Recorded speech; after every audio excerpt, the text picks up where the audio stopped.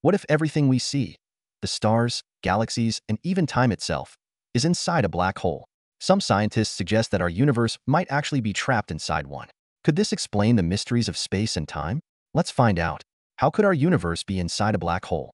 When a black hole forms, it creates a boundary called the event horizon, beyond which nothing escapes.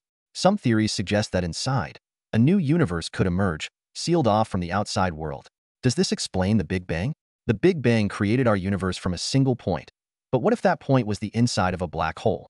Some scientists believe that every black hole could give birth to a new universe. Could we ever escape? If we live inside a black hole, we might never escape. The edge of our universe could be the event horizon, blocking us from seeing outside. But what if black holes in our universe lead to other universes too? Could we really be living inside a black hole? What do you think? Is our universe just one of many? Let us know in the comments, and don't forget to like, share, and follow for more space mysteries.